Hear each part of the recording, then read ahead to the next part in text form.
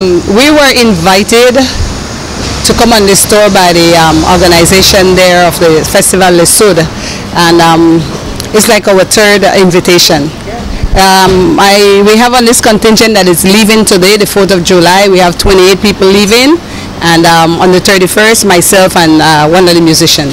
What are some of the things that you have scheduled for um, your tour?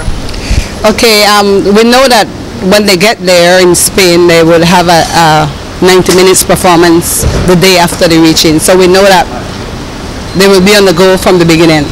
We, we're gonna we're gonna literally show them Belize. We are taking our tree culture, um, the Mayans, the uh, Garifuna, and the Creole culture. So they will see Belize through the dances.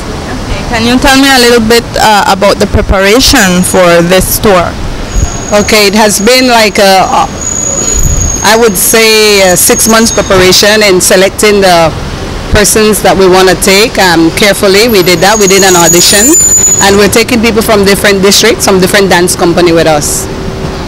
For us to have a diverse, for us to have a flavor, we, we um, share choreographies. Myself, Rosita Baltazar, and Denise Enriquez, and other choreographer like um, Greg Vernon. We're taking some of his pieces and we're using local musicians.